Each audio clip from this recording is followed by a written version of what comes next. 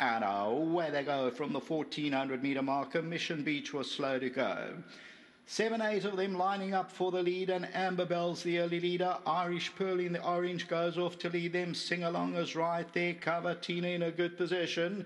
Only two and a half lengths off the leader. Sing Along's in the all black on the outside as they move towards that thousand meter region. Further back is Yoshida and oh, Silver Wisp's a little bit strong. Basatsana's further back in the run, and Rapture's about five lengths off the leader at this stage. Then Elusive Treasure. Basatsana retrial's got about nine or ten lengths to make up at this stage. They make that entrance to the straight. Elusive Treasures now about 12 or 13 off them with Stratplan, Dora, and Mission Beach. Irish Pearl's going to bring him into the straight. Sing Along is back second. Cavatina's in third.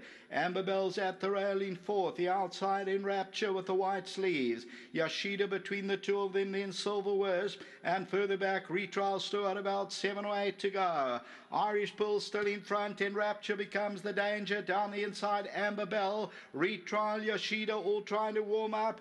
Irish Pearl starts to shorten its stride, and Rapture comes into the lead. Yoshida's a big big run on the inside with Amber Bell. And it's Enrapture over the last hundred, though, not for the catching. And Enrapture's got up to win it. Second place is close. Basatsana, Amber Bell, and then behind that, Yoshida.